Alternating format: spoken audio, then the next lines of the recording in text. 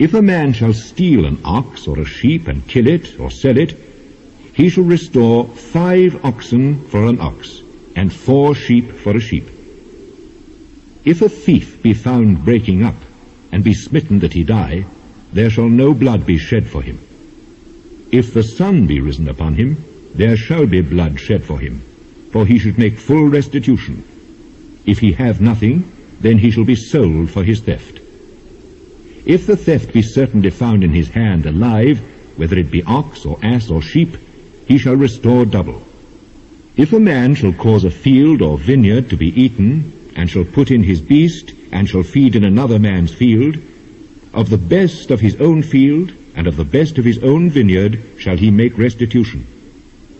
If fire break out, and catch in thorns, so that the stacks of corn, or the standing corn, or the field be consumed therewith, he that kindled the fire shall surely make restitution.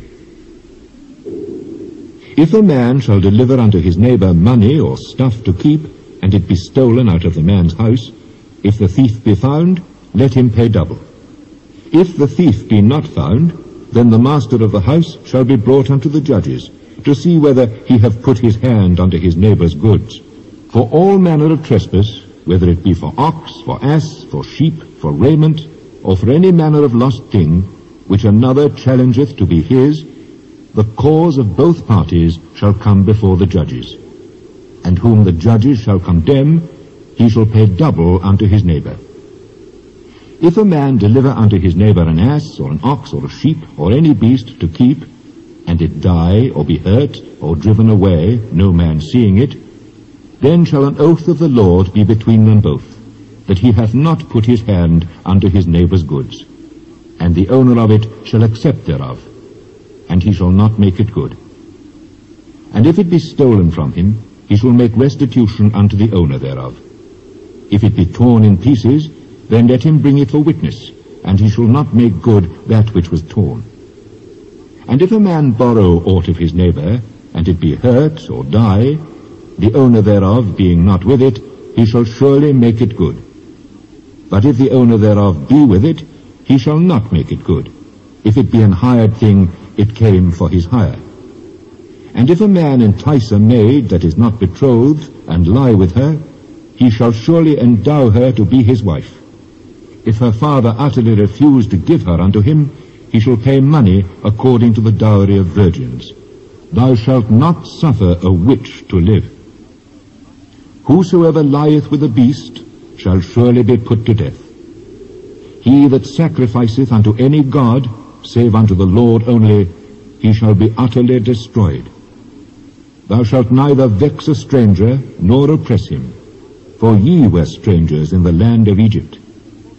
Ye shall not afflict any widow or fatherless child. If thou afflict them in any wise, and they cry at all unto me, I will surely hear their cry, and my wrath shall wax hot, and I will kill you with the sword, and your wives shall be widows, and your children fatherless. If thou lend money to any of my people that is poor by thee, thou shalt not be to him as an usurer, neither shalt thou lay upon him usury. If thou at all take thy neighbour's raiment to pledge, thou shalt deliver it unto him by that the sun goeth down. For that is his covering only. It is his raiment for his skin.